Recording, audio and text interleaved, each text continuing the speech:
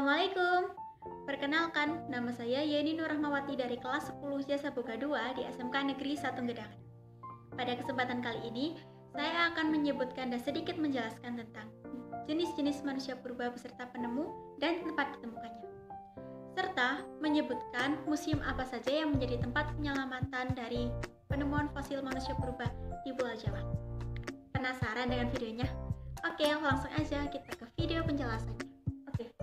Sekarang kalian tahu nggak sih manusia purba itu apa dan siapa?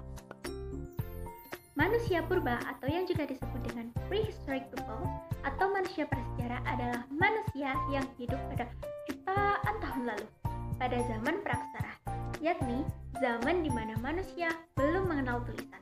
Manusia purba juga dibagi atas berbagai jenis. Jenis yang pertama yaitu Pithecanthropus Pithecanthropus merupakan jenis yang paling banyak ditemukan di Indonesia. Jenisnya adalah Pithecanthropus mojacartensis, Pithecanthropus erectus, dan Pithecanthropus solensis. Kita bahas yang pertama. Pithecanthropus mojacartensis merupakan manusia kera yang berasal dari Mojokerto. Ditemukan di Jetis dekat Mojokerto, Jawa Timur oleh Von. Yang kedua ada Pithecanthropus erectus.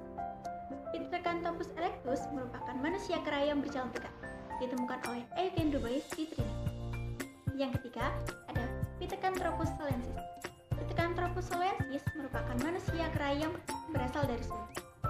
Ditemukan di Ngandong, Lembah Bengal Sulu oleh von Koningswart, Terhar, dan Oppenheimer.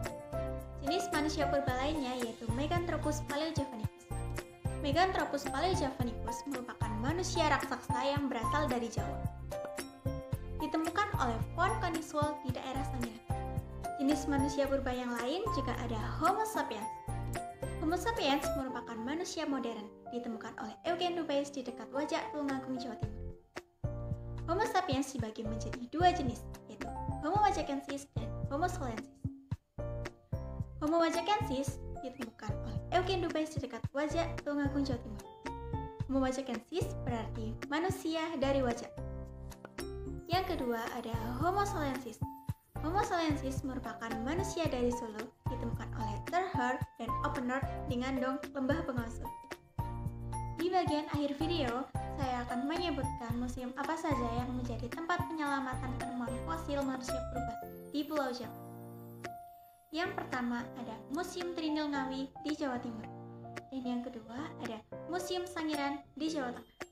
Saya kira cukup itu yang bisa saya sampaikan. Bila ada kurang lebih, mohon dimaafin ya. Wassalamualaikum. Salam sejarah. See you.